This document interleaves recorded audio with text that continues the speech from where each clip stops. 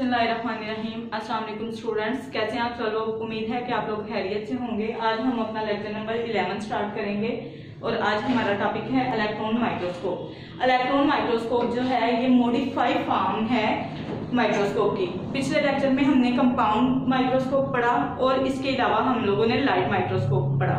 आज के लेक्चर में हम इलेक्ट्रॉन माइक्रोस्कोप की स्टडी करेंगे, ठीक है? इलेक्ट्रॉन माइक्रोस्कोप जो है, इसके अंदर इलेक्ट्रॉन्स की एक बीम है जो वर्किंग कर रही होती है, ठीक है? जो मैग्नीफाई करती है, जो क्या करती है? जिसकी रिजॉल्विंग पावर जो है, बहुत ज़्यादा होती है, इसमें इलेक्ट्रॉन की एक बीम यूज़ हो रही होती है। इलेक्ट्रॉन माइक्रोस्कोप के अंदर एक ऑब्जेक्ट होता है और लेंसेज होते हैं। इन लेंसेज को वैक्यूम चैम्बर के अंदर रखा जाता है, ठीक है? लेंसेज होते हैं और ऑब्जेक्ट होता है, उसको कहाँ पे रखा जाता है वैक्यूम चैम्बर के अंदर। जब वैक्यूम चैम्बर के अंदर रखा जाता है तो एक बीम आती है इलेक्ट्रॉन्स की जो वहाँ से ट्रांसमिट होती है या फिर रिफ्लेक्ट होती है, उसके रिफ्लेक्ट होने से वो क्या करती है मैग्नीफाई करती है इमेज को बड़ा करके दिखाती है।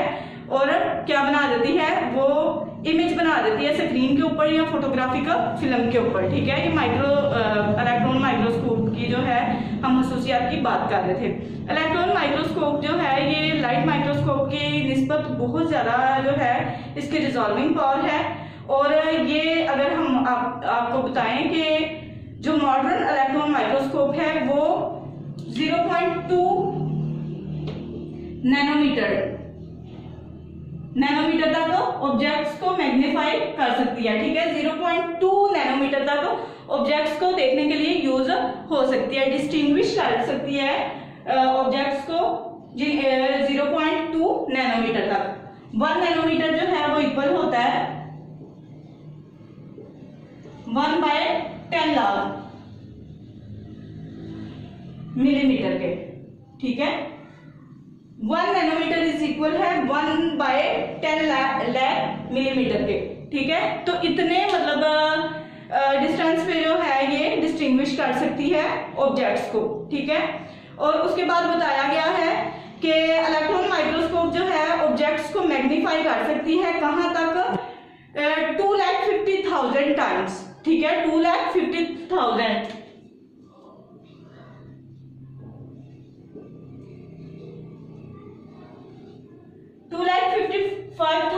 times जो है, इसकी क्या होती है? मैग्निफिकेशन पावर है।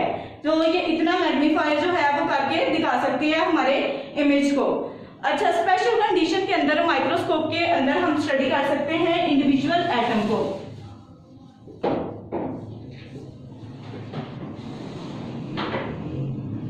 एक इंडिविजुअल एटम की स्टडी करने के लिए जो है, हम इलेक्ट्रॉन माइक्रोस्कोप को यूज़ करते हैं। इसके स्टडी के लिए मॉलिक्यूल्स की स्टडी के लिए, इन सब के लिए हम किसको यूज़ करते हैं? इलेक्ट्रॉन माइक्रोस्कोप को। ये सेल का इंटरनल स्ट्रक्चर देखने के लिए सेल के ऑर्गेनेलिस की स्टडी करने के लिए हम इलेक्ट्रॉन माइक्रोस्कोप को यूज़ कर रहे होते हैं। इसके अलावा मॉलिक्यूल्स ऑफ़ लाइफ जैसे कि डीएनए वगैरह प्रोटीन और much longer than single atom ठीक है?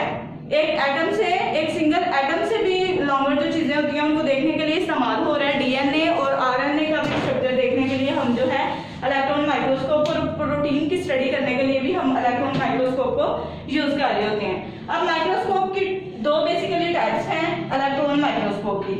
इलेक्ट्रॉन माइक्रोस्कोप की दो बेसिकली टाइप्स हैं जिसको डिफरेंट बायोलॉजिस्ट यूज़ कर रहे होते हैं। एक टीईएम है ये है ट्रांसमिशन इलेक्ट्रॉन माइक्रोस्कोप और दूसरी है SEM scanning electron microscope transmission electron microscope जो है, ये ऐसी माइक्रोस्कोप है जिसमें इलेक्ट्रॉन की एक बीम जो है, वो स्पेसिमन से ट्रांसमिट करती है। स्पेसिमन क्या है? कोई भी ऐसी चीज़ जिसको हमने स्टडी करना हो। स्पेसिमन कोई भी ऐसी चीज़ है जिसको हमने स्टडी करना हो, उसको स्पेसिमन कहते हैं। तो ट्रांसमिशन इलेक्ट्रॉन माइक्रोस्कोप में क्या होता है? इलेक्ट्रॉन्स की एक बीम जो होती है, वो क्या करती है? ट्रांसमिट करती है स्पेसिमन से, ठीक है? स्पेसिमन के अंदर से जो है वो ट्रांसमिट होती है, गुजरती है तो वो किस लिए यूज़ हो रही होती है? ये ट्रांसमिशन इलेक्ट्रॉन माइक्रोस्कोप सेल का इंटरनल स्ट्रक्चर जो है उसकी स्टडी करने के लिए। सेल के अंदर किस तरह के ऑर्गेनेलिज हैं, उन सब की स्टडी करने के लिए इंटरनल स्ट्रक्चर की स्टडी के लिए हम यूज़ कर रहे होते हैं ट्रांसमिशन इलेक्ट्रॉन माइक्रोस्कोप और स्कैनिंग इलेक्ट्रॉन माइक्रोस्कोप जो है, इसमें क्या होता है? इलेक्ट्रॉन्स जो हैं वो क्या करते हैं मेटल की सरफेस से रिफ्लेक्ट होते हैं तो ये जो है जस्ट सेल की सरफेस की स्टडी करने के लिए यूज़ हो रहा होता है, ठीक है? स्कैनिंग इलेक्ट्रॉन माइक्रोस्कोप के अंदर क्या होता है? इलेक्ट्रॉन जो है, वो रिफ्लेक्ट होते हैं मेटल कोटेड सरफेस के ऊपर से, ठीक है? मेटल कोटेड जो सरफेस होती है, उसके ऊपर से रिफ्लेक्ट होते हैं, और ये किसके लिए यूज़ हो रही होती है? ये सेल की सरफेस उसकी स्टडी करने के लिए जो है ये यूज़ हो रही होती है। उसके बाद हमारा जो नेक्स्ट टॉपिक है वो है history history of the formulation of cell theory cell theory बनाने के लिए जो है वो हिस्ट्री उसकी स्टडी हम करेंगे।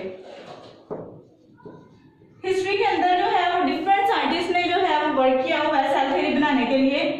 अगर हम इसकी हिस्ट्री पढ़े तो फ़र्स्ट जो हमारे पास थे बायोलॉजिस्ट वो थे अरिस्टोटल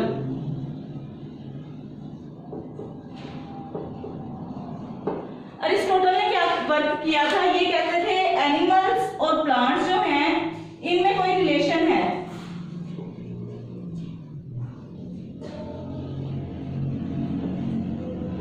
इनका कहना ये था एनिमल्स और प्लांट्स जो है, एक दूसरे के साथ रिलेट करते हैं, ठीक है? एक दूसरे से मिलते जुलते हैं।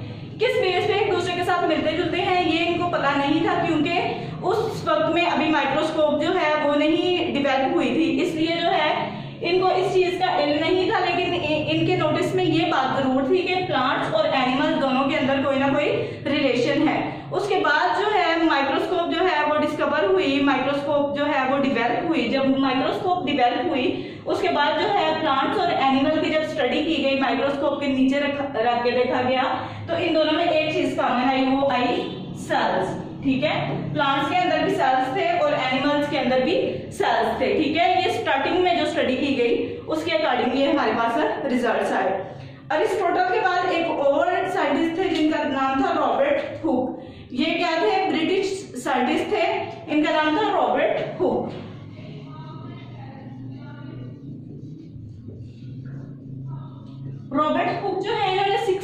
1665 में अपने सेल्फ मेड माइक्रोस्कोप जो है वो प्रोड्यूस की। इन्होंने खुद से एक माइक्रोस्कोप बनाई और इन्होंने कार्प का एक स्लाइस जो है उसके नीचे रख के देखा, ठीक है? रॉबर्ट हुक ने क्या किया? 1665 में अपनी हैंडमेड जो है मतलब खुद से सेल्फ मेड सॉरी जो है माइक्रोस्कोप बनाई और उसके नीचे उन्होंने कार्प का एक स्लाइस रख के देखा। तो उन्होंने क्या देखा कि उस कार्प के अंदर जो है हनी की तरह जो है वो अपार्टमेंट्स बने हुए थे, ठीक है? जैसे आपने देखा हुआ छत्ता होता है शहर की मक्खियों का। इसी तरह उन्होंने देखा कि छोटे छोटे उसके अंदर कंपार्टमेंट्स बने हुए थे, ठीक है?